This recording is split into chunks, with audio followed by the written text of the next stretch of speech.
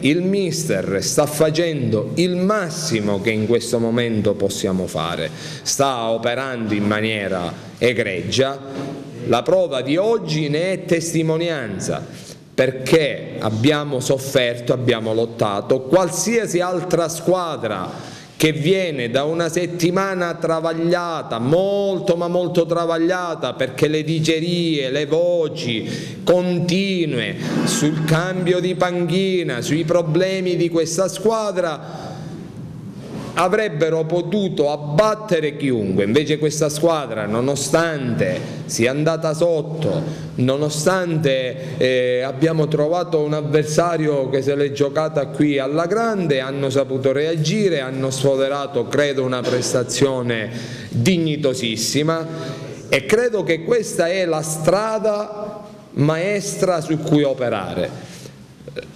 Io penso che se voi avete idea che il Gela debba vincere tutte le partite senza pensare che ci siano gli avversari, io credo che siamo fuori strada.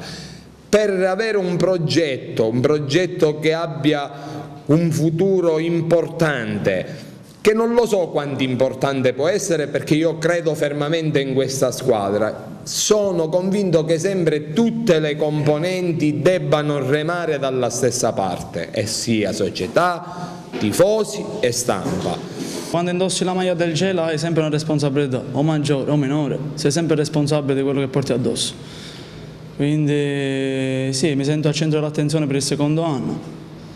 Dobbiamo solamente continuare a fare bene.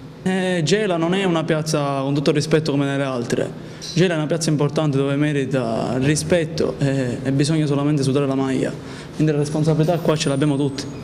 A me piacerebbe vincere a Gela, mi piacerebbe tantissimo come l'ho fatto da giocatore, però per vincere ci vogliono anche condizioni per vincere. Io sicuramente ho sempre detto che questa è una buonissima squadra, è una buonissima squadra che deve entrare e migliorare la posizione di classifica, e lo ripeto ancora una volta, dell'anno scorso, poi vedremo dove, dove siamo, dove, in posizione siamo.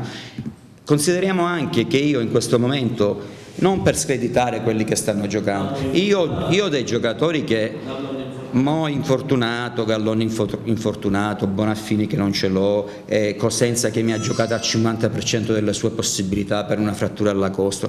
No, noi non, non, consideriamo tutte queste cose e io vengo perso per pazzo, per un allenatore che non sono vincente. Io sono abbastanza realista e coerente e molto pragmatico. No, non c'è stata la richiesta. Io ho detto alla società fatemi recuperare i giocatori che ho fuori e noi valutiamo poi il lavoro con tutti i giocatori che abbiamo a disposizione.